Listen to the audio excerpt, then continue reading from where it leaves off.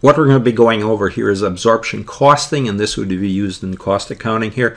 And absorption costing, it's one of the inventory valuation methods here in cost accounting. And really, we have four different inventory value, evaluation methods here, and we're going to be looking at full absorption costing here. It may be just called absorption costing or full absorption costing.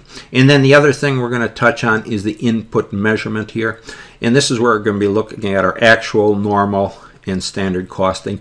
Those would be the costs that flow into and through our inventory here. And in this case, we're going to be looking at full absorption.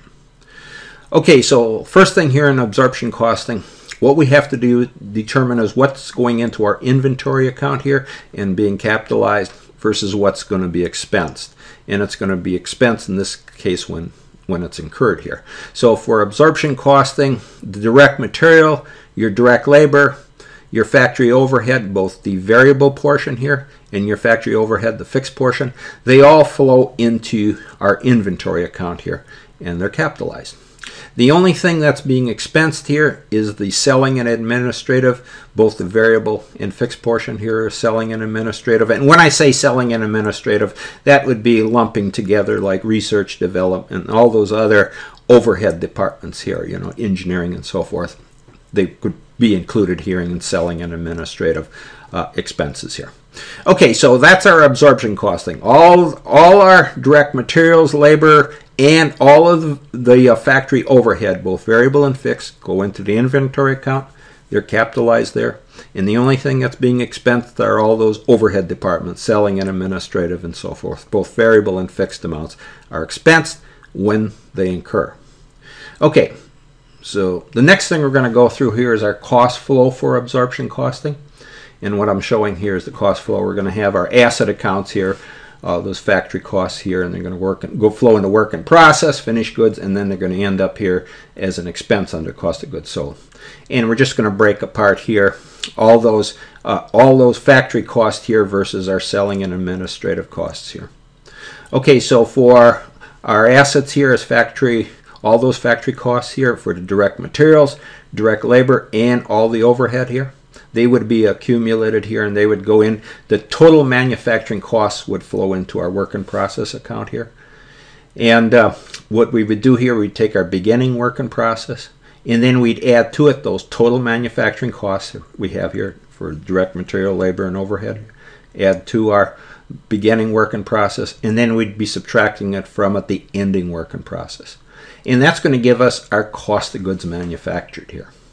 So cost of goods manufactured uh, flows out of our work in process into our finished goods account. Again, another asset account here.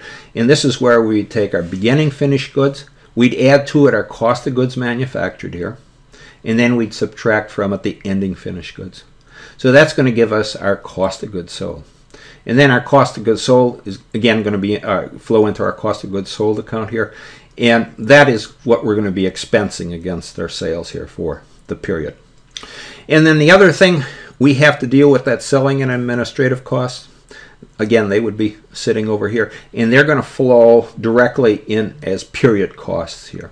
Whatever they'd be costed out separate. They wouldn't be included in our cost of goods sold, but they would be a separate a separate period for whatever period they're looking at. They would be expensed for that particular period.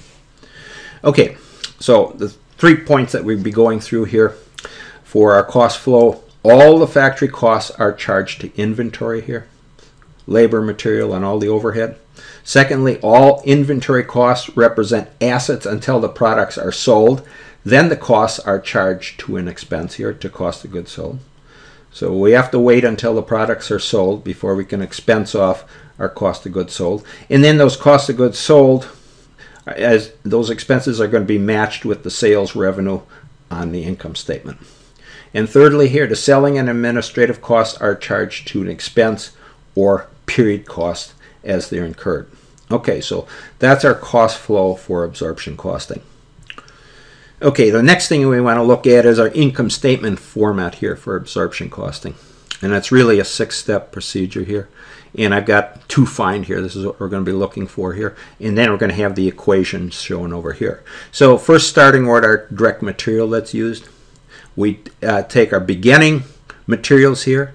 We'd add all the purchase materials that we have for the period, and then we'd have to subtract out our ending materials that we have here.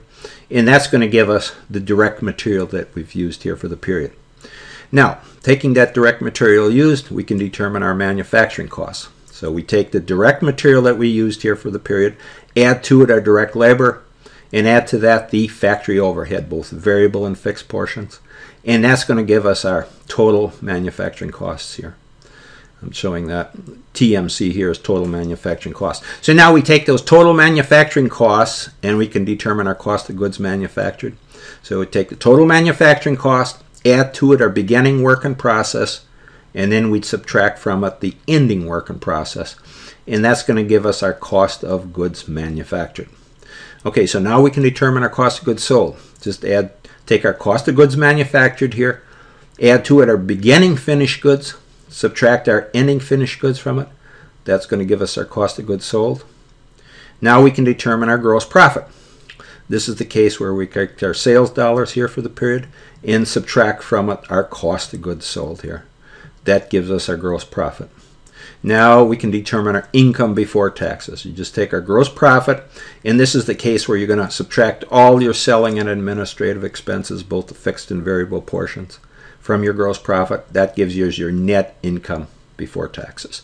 Okay, so that's our income statement format here for absorption costing. Really a six, six step process here.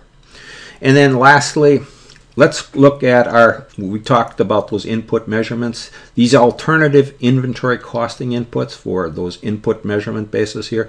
This is the cost that flow into and through our inventory. And what we have here, we had those three different uh, input measurements here. We can either use actual costing, normal costing, or standard costing for our absorption costing here. And uh, what we'd be looking at are different manufacturing costs here. And what we would have, we would have our variable direct costs here. Those would be like our labors, uh, labor and material here, those direct labors and materials. And then we are going to have our variable overhead costs here. And then we also have our fixed direct costs, whatever they may be here. And then we're going to have our fixed overhead here. Okay, so we've got really these three different measurements that we could use. Actual, normal, or standard costing. So let's just look at them. Say our actual costing, that's where we're going to just take some actual rate or price here for those manufacturing input costs here times the actual quantity that we used here for the period. So that's for actual costing.